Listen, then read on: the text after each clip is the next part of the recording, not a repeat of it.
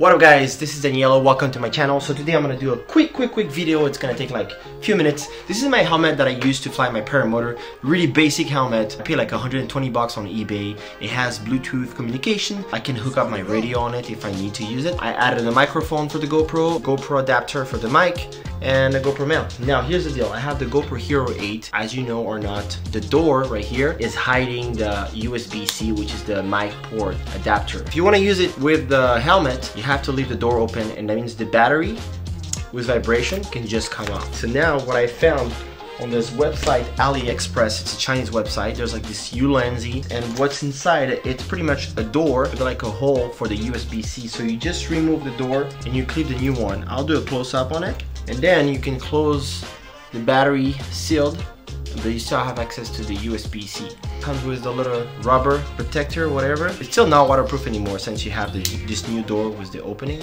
So what you do, you can just go ahead and pretty much set up your GoPro on your helmet and you can still plug your microphone. Yeah, you have your microphone that is plugged right here.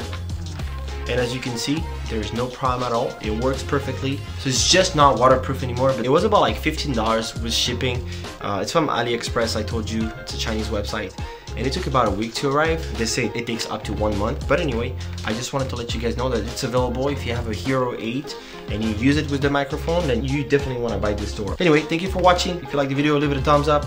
Let me know if you have any questions about the whole setup that I have right now. It's super basic, but if you do, I'll make sure I'll make another video. And stay tuned because I'm going to be making my next video about being a self-train and if you should self-train. It's a really hot topic in the, in the sport. So anyway, hopefully you guys enjoyed and if you like, consider subscribing. I'll be posting every week about so many different stuff. Don't forget to stay bad and I'll see you guys in the next video. Thank you, bye.